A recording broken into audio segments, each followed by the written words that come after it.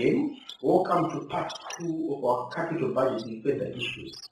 So in the first part, we discussed a number of issues around things that we can encounter in capital budgeting over and above the main methods in capital budgeting. So in this one, we're going to start off by discussing capital rationing. So find what do you mean by capital rationing? You'll find in most are set up, they can get a number of opportunities, but the available capital to be invested then become a constraining factor.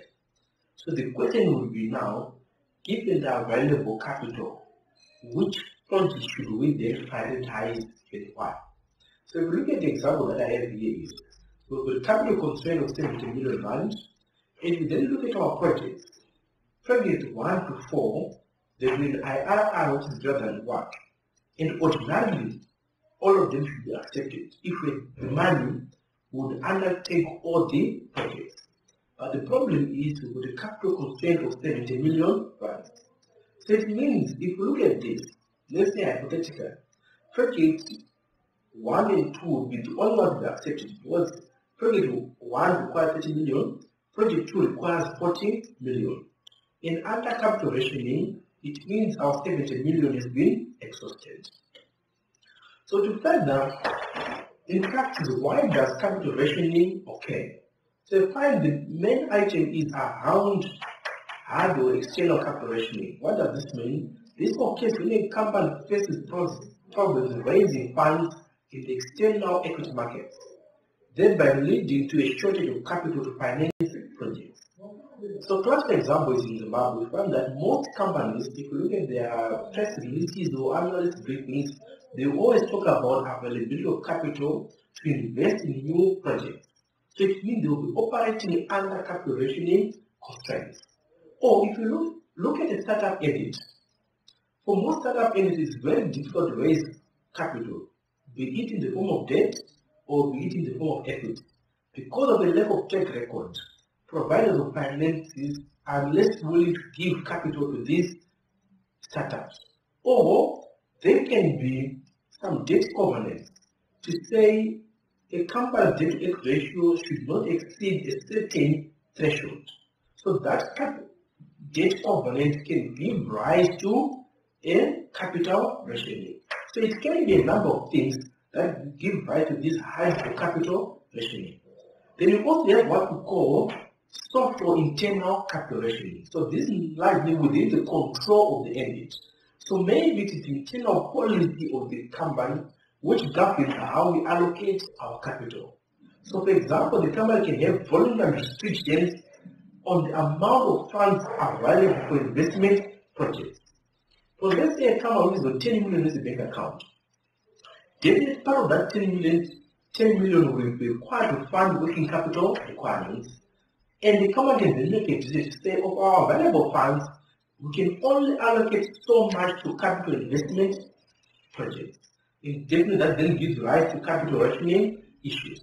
So now the question is how do we solve the problem around capital rationing? So we can then make use of our profitability index. Remember we introduced this concept in our previous lecture on capital budgeting. And said that this measures the return of a project relative to its cost. And instead, if a project is the PI greater than 1, we need to accept a project.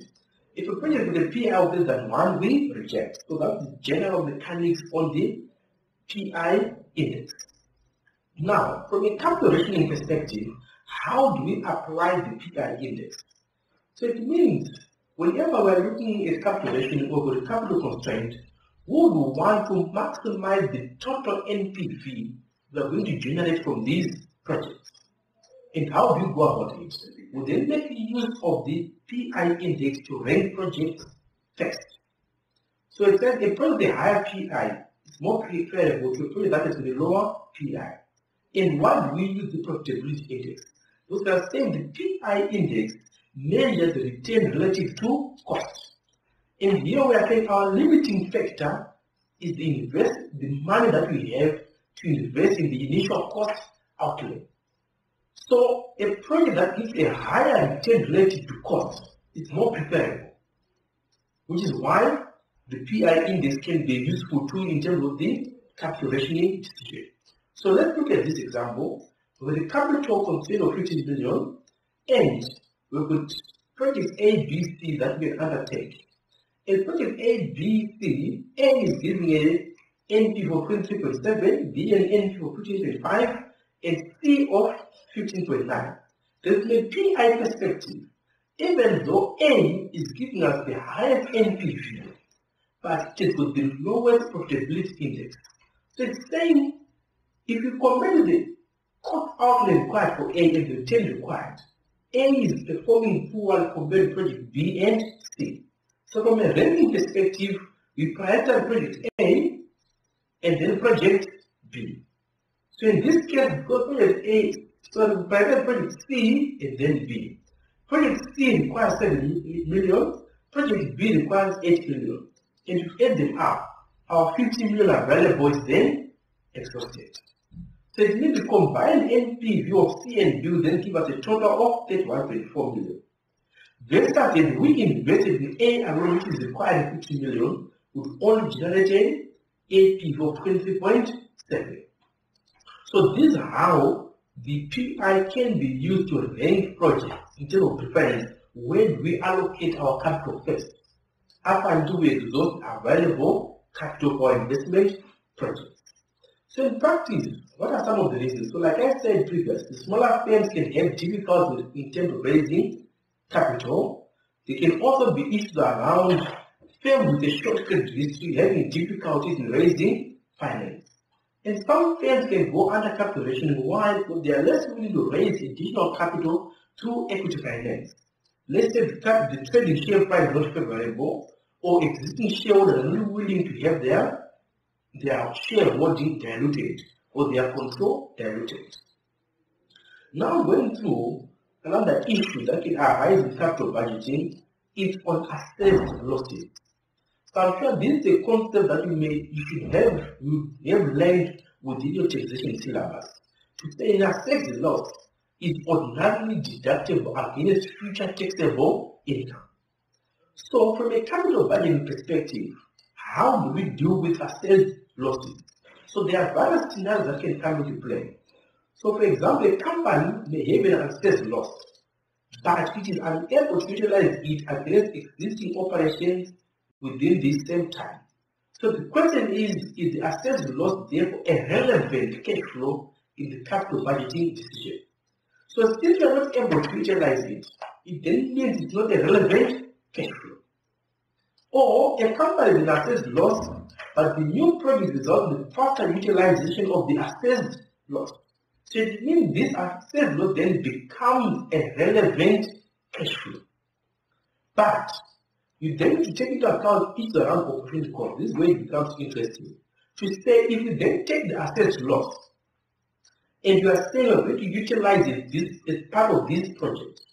If let's say if we not taken this project we could still have utilized this assessed loss in our current operations. But the only difference is in this project, we are going to use, be able to use to utilize the assessed losses faster, which is why we are now allocating them to this project. But we to then also say, we have now lost an opportunity of utilizing the lost in our current operations. So we are also going to have an opportunity cost. How is this coming from? to say we've now forgone the option of utilizing assessed loss in our existing project and opted to use it in this project is going to utilize assessed losses first. So opportunity cost issues. Or a company is an assessed loss but there's no other income. That means that's irrelevant. We would have assessed loss and we're not able to utilize it. So irrelevant cash flow. Or the project creates a tax loss, but these losses are ring-fenced. So look at the project itself. And can see it over the life of the project is going to create a tax loss, which tax loss cannot be utilized anywhere within the operation of the company. So means the assessed loss that is created by the end of the project then becomes an irrelevant cash flow. Why? Because it's not going to be utilized anyway. So the, again, if we if we go back to the underlying principle in this discussion is the issue around relevant cash flow. Are assessed losses relevant cash flows within the context of the information provided. Then, the next concept discuss is around ab abandonment values as well as economic life. What are these? So find that in financial management, over the life of the project, we need to do continuous evaluations of the project to decide whether or not the project should be abandoned. But the may come a point, let's our initial assessment said this project is going to have a six-year useful life. But that was an estimate. So to ensure that our estimate is still valid, we need to continuously assess that particular assessment. So normally this is achieved by comparing the project's current economic value and its future abandonment value to its current abandonment value. So effectively, if the abandonment value, so abandonment value is effectively to say, if we stop the project now, how much are we going to generate from disposal of ETC? So if abandonment value is greater than economic, current economic value, it means we are better off selling whatever equipment ETC because the future cash flows are less than what we can generate today from stopping the project and disposing of any project assets. Then what are some of the key issues in capital budgeting? So I find all along been focusing on the quantitative analysis in capital budgeting, but we also need to make some strategic considerations as part of our project evaluation. For further detail, I will pay to copy chapter 9, subsection 6, where we find a lot of issues that can be considered from a strategic point of view. So as an example, I've got two projects A and B. And project A is got an easier exit because maybe the of assets that going to invest in, they've got a ready second-hand market. Versus project B, which requires specialized equipment. So from a strategic perspective, project A is attractive. Why? Because when things go south, it's easier for the company to exit from project A, where the assets got a second-hand market, versus project B, when the equipment is specialized to the extent that it's not easy for the end-to-end exit, is not being able to recoup anything from our initial investment. Or another scenario could be, we look at the ability to be able to temporarily stop operations if variable cost exceeds revenues. So a project that can be, where we can say, ah, things are not going well, for now let's stop, let's work the market. From an investment perspective, that project will be attractive. Why? Because in times of low prices, etc., we can stop the project without any adverse effect. Very much a project once, whereby once we invest in it, we do not have an option to temporarily close operations. So for further reading on the issue that I discussed in this two-part lecture series, please go through chapter 9 in Correia to get further information on some of the key issues we need to consider in our capital budgeting. And as usual, once you are done with that, go to your module, do the online quizzes, do your practice questions, and do make sure you attend the contact session. And remember, the purpose of the contact session is where you from your reading and watching the videos, any area that were not clear or that are a bit confusing, you then bring those questions in us, we discuss them together, we clarify, we use examples to be to say, okay, the principle I now understand it, but I'm not clear on how exactly I should apply it in a, in a question. Those issues are then addressed in the contact sessions. So for any follow-up question on this lecture, please, those are the contact details for the marketing department. Do get in touch with us, and we'll be glad to, to assist. So once again, thank you very much for taking time to watch this lecture recording. Hope you had a great time. Thank you.